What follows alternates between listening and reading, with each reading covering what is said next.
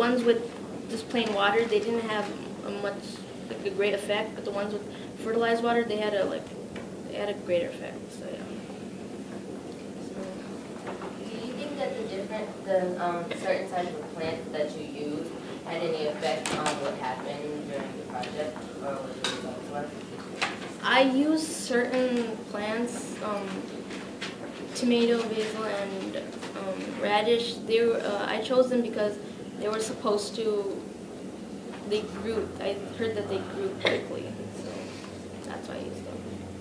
Yeah. Okay, so with the fertilizer that you use, um, do you think that, well, do you know if there are any chemicals that were in it that specifically made the plant grow taller?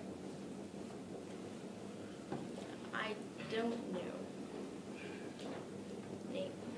Why did you want to do this project?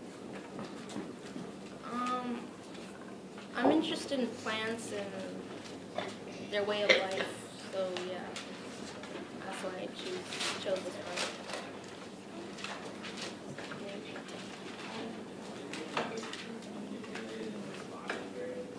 What?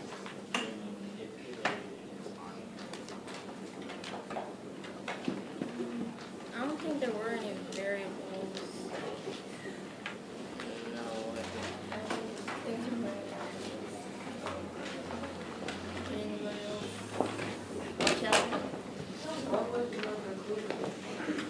I concluded that my hypothesis was correct, that gravity had very little um, effects.